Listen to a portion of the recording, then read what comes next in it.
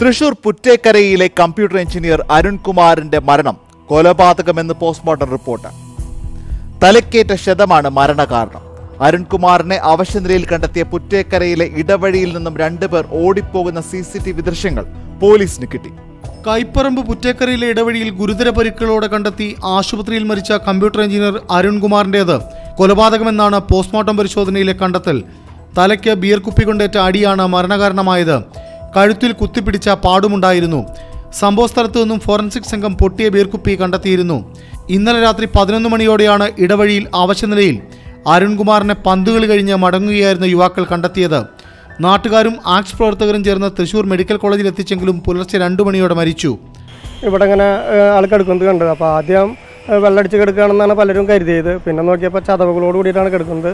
അപ്പോൾ മുതുവരെ ആക്സിനെ വിളിച്ചു. മുതുവറ ആക്ട് വന്ന് അശ്വിനി ഹോസ്പിറ്റലിൽ കൊണ്ടുപോയി.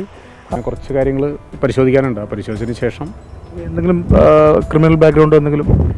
ഇയാൾക്കാണ് ക്രിമിനൽ ബാക്ക്ഗ്രൗണ്ട് ഉള്ളതായിട്ട് നമുക്കറിയില്ല. എന്തായാലും അന്വേഷിക്കട്ടെ. നഗരത്തിലെ ഒരു ബാറിൽ നിന്നാണ് അരുൺ രാത്രി വീട്ടിലേക്ക് മടങ്ങിയത്. വരും വഴിയിലെയും ആക്രമിക്കപ്പെട്ട ഇടവഴിയിലെയും സി സി ടി വി ദൃശ്യങ്ങൾ പേരാമംഗലം പോലീസ് ശേഖരിച്ചിട്ടുണ്ട്.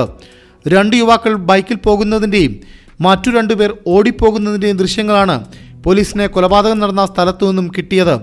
ഇവരെ കേന്ദ്രീകരിച്ച് അന്വേഷണം ഊർജിതമാക്കി. അരുൺകുമാറിന്റെ ഫോണും പോലീസ് പരിശോധിച്ചു വരികയാണ്. പ്രതികൾ വൈകാതെ വലയിലാകുമെന്നാണ് പോലീസിന്റെ പ്രതീക്ഷ. Asianet news Thrissur.